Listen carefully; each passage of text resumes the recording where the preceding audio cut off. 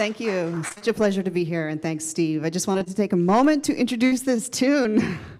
And thanks to Michael Schuster for printing this out at the last minute. I wrote a song and I dedicated it to my mom who passed a couple months ago.